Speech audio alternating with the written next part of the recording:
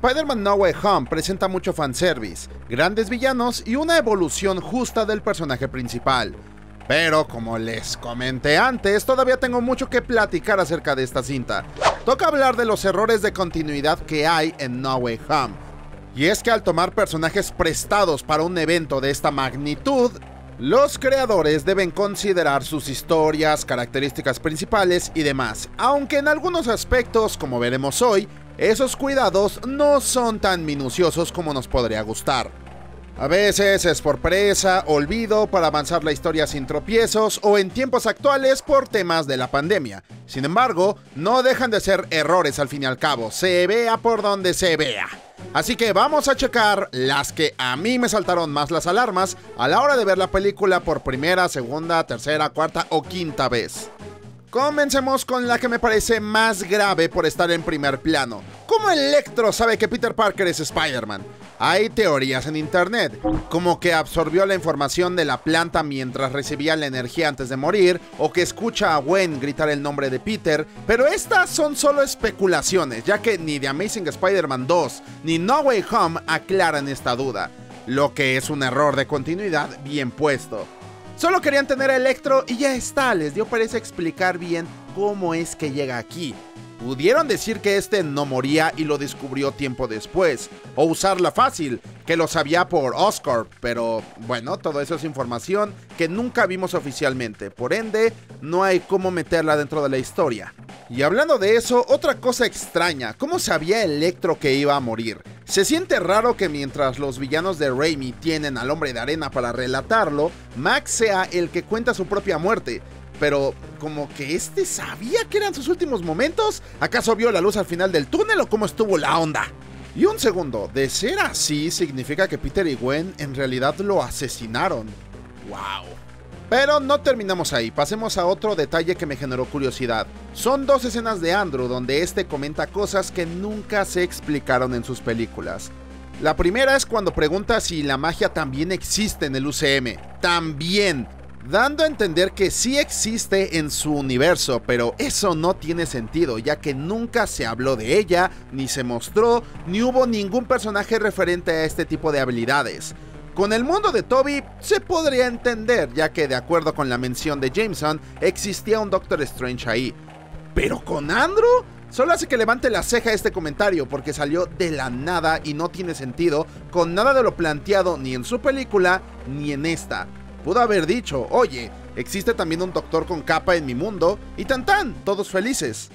Tengo la esperanza de que esto se explique de alguna forma en Multiverse of Madness, pero hasta el momento es un hueco que no puede ser rellenado de ninguna forma. Y no es lo único, pues lo siguiente puede perdonarse, o al menos creo que nadie se ha de haber fijado en esto. También me saca de onda que Andrew identifique la frase de un gran poder conlleva una gran responsabilidad. Como sabemos, el tío Ben de su mundo dio un speech muy distinto que aunque es la misma idea, la única palabra en común es responsabilidad. De hecho, más allegada a la del universo Ultimate. Así que suena raro que este diga sin dudarlo que lo dijo el tío Ben antes de morir porque en teoría no fue así. Ok, lo entiendo, esto es ser muy quisquilloso, a lo mejor ni siquiera lo recuerda textualmente por el coraje que tenía luego de la pelea que tuvieron, quién sabe, pero en fin, me sonó bastante extraño, ya que de momento los únicos que comparten las características de la frase son el de Tom y el de Toby. Pero bueno, dejemos al buen Android. ¡Ah, espera! Que tengo que mencionar esto. Venom todos emocionados cuando vimos a Eddie teletransportarse al universo cinematográfico de Marvel, ¿Pero por qué? Y sí, ya sé que lo explicaron los guionistas.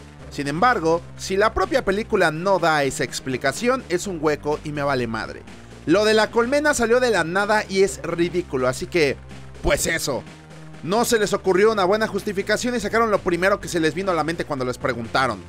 Ahora vamos con el universo de Raimi, que cuenta con algunas bastante fuertes. Comencemos con la poderosa, porque todo el mundo conoce la identidad del Duende Verde. Entiendo que Octavius conozca a Norman, ya que trabajaban en la misma rama, pero eso a que al verlo Octavius lo llame Osborn, aun cuando traía la máscara puesta, ¿qué pasó ahí? Esto se complementa con el hombre de arena contándoles la historia de cómo murieron.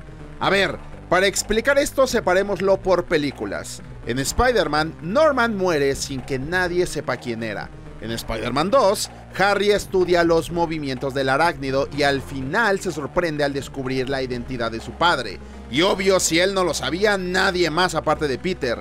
O sea que no había cómo esa información podría haber llegado a Octavius, quien recordemos murió en esa película. Y en Spider-Man 3 es recién cuando el mayordomo cuenta lo que sucedió.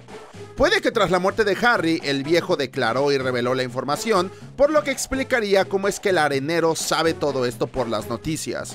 Pero, ¿y Otto? Él ya estaba muerto, no hubo ningún momento en el que este pudo haberse enterado. No hay forma.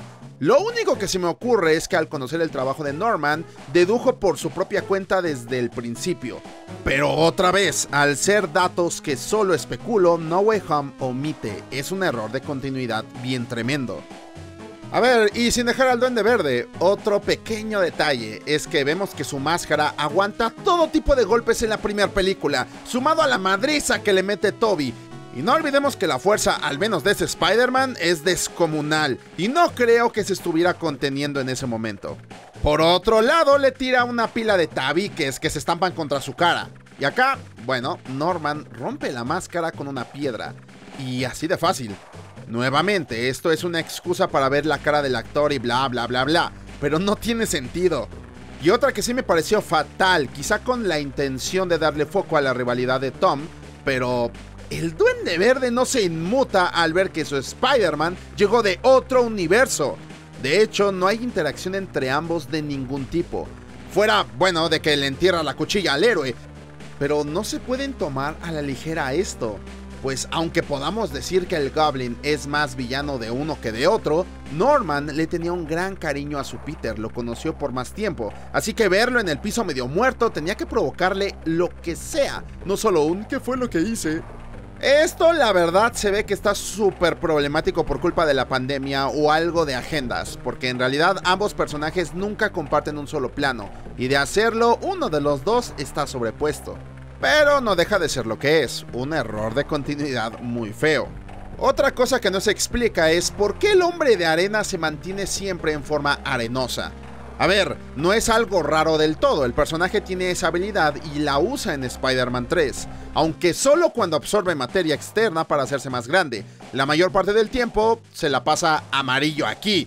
Nunca dicen cuál es el motivo, y sí, sé que fue por la pandemia y tanto él como el actor de Lizard tuvieron complicaciones para estar en el set y solo prestaron las voces. Motivo por el cual se tuvieron que reciclar escenas de Spider-Man 3 y de The Amazing Spider-Man, eso no hay ningún problema. La cosa es que no le pusieron algún tipo de justificación dentro de la historia para que uno no se lo preguntara. ¡Les valió madre! Esto se podía resolver, como decir que la mutación del hombre de arena avanzó con el tiempo y ahora ya no podía cambiar, o no sé, pero decidieron dejarlo así toda la película. El lagarto, pues bueno, podríamos decir que era después de haberse inyectado la última fórmula y ya no había vuelta atrás hasta que lo curaran. En fin, ¿tú qué opinas? En fin, Spider-Man No Way Home es un bello festival de nostalgia en todos los sentidos, una celebración de los 20 años de Spider-Man en el cine, pero también es innegable que hay problemas en cuanto a la continuidad. Quizá un espectador casual no se dé cuenta de esas cosas y eso está bien, es un producto para disfrutar, pero también estamos los que somos más obsesivos y guardamos detalles como estos en nuestro cerebro. Ah, pero pregúntame la tabla del 8, hijo de puta, y no me la sé. No quiero desaprovechar la oportunidad, dejen acá abajo en los comentarios algún error que crean que se me pasó o por qué no. Explíquenme quizá alguno de los que expuse y denme una resolución. Aunque sean teorías, aquí vamos a soltarnos, chingue su madre. O si crees que es algo que legítimamente explicaron en la película y lo olvidé, ya te la sabes, acá abajito.